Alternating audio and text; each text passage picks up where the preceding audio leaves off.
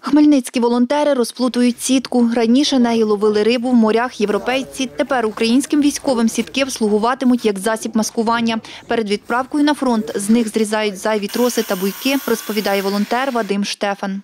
Дівчатам то дуже важко. Вони допомагають тільки коли в'яжемо, коли нав'язуємо. А це е, чоловіча робота.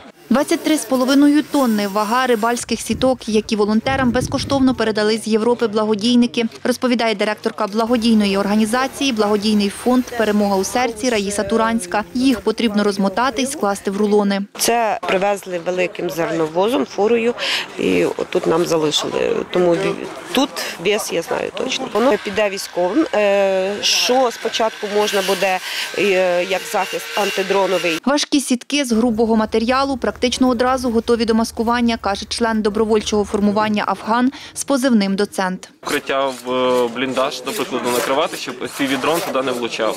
Е, Основа дуже така е, міцна. І лопасті не зможуть ну і прорізати, і дрон туди не залетить.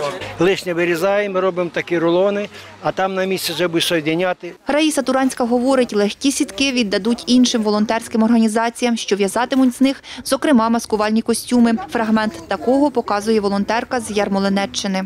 Це наш шоломник, використовується для маскування нашим військовим.